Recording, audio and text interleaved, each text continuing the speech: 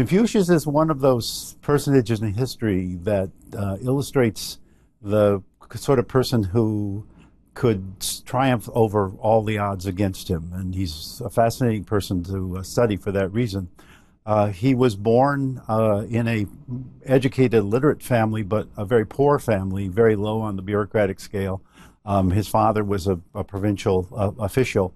Uh, he was very resentful as a child. He was he was his father educated him, but he was very resentful of the fact that when he finally got a position as a bureaucrat, he was doing all kinds of, of jury uh, work that that uh, he didn't feel was uh, suitable for his uh, his intellect.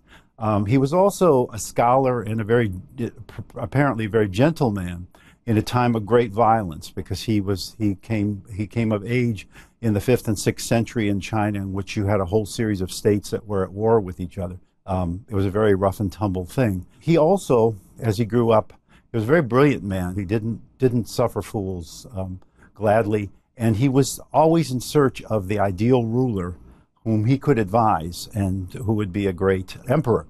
And he couldn't hold the position. So, in a sense, in terms of his actual career, he was a failure. But it's but remarkably, because of what he thought and because he had disciples who were also very, very powerful intellects, who wrote about actually they recorded most of his teachings in, in what is called the Analects, a, China, a compilation of, of his sayings and his, his wisdom. At any rate, uh, he, he never found the ideal king, and he went, he wandered from kingdom to kingdom. He never made a lot of money, but he thought some of the most brilliant philosophical and moral issues. He thought them through and expressed them brilliantly, more than any, possibly any ancient thinker. And he comes of age in the great age of Greek learning, when the, uh, Buddha was alive, um, in, in, a period where there's enormous fermentation, intellectual, in the world. hist- global historians tend to call that the axial age. Despite these rebuffs, because of his disciples, he becomes the major influence on Chinese civilization for over two and a half millennium, right down to the present day. Even the communist regime in China today still leans very heavily on Confucian teaching. His teachings also affect Vietnam, uh, Central Asia, Japan, and uh, Korea. Uh, and they are, as I said, they are, uh, they've become universal. Uh, he lived in this very rough time, and most of the philosophy of the time was about repression, about making war. Um, so again, he wasn't popular in his time, but he came up with a brilliant formula that essentially informs Chinese society, Chinese politics, right to the, as I mentioned, right to the present day, but certainly the time, time of the dynasty.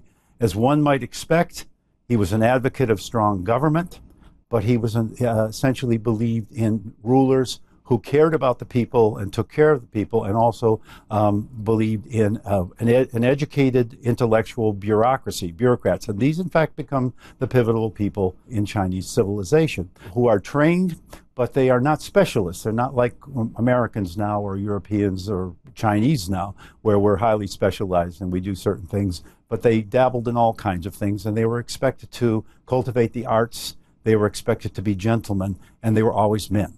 There were no women in his view of who should rule, but they ruled in the interest of the people. This is revolutionary. They ruled in the interest of the people, and if they didn't take care of the people, there was even a clause in, in his in one of his disciples thinking that said they had a right to uh, revolt.